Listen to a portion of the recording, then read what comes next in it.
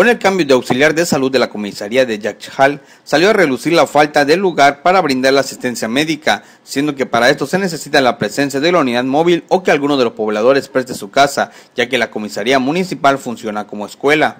A su vez, los médicos de la jurisdicción sanitaria recorrieron la obra inconclusa de lo que será el centro de salud de la comisaría, que presenta un notable atraso en su entrega oficial, ya que carece de instalación eléctrica, pintura y mobiliario, donde el problema mayor es la falta de un drenaje y fosa séptica para el baño, ya que debajo de la construcción se encuentra el cenote que alimenta la planta de bombeo de agua potable de la población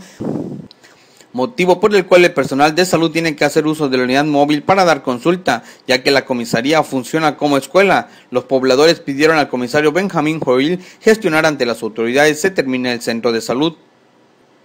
De acuerdo con datos oficiales del ayuntamiento, la obra fue aprobada el 18 de agosto del 2011 en sesión de Cabildo número 33 con un monto de 437.612.84 centavos a través de un concurso, donde el contrato inicia el 9 de noviembre del 2011 y la conclusión de la obra es el 24 de diciembre del 2011. Sin embargo, podemos ver que la obra no está concluida hasta agosto del 2012.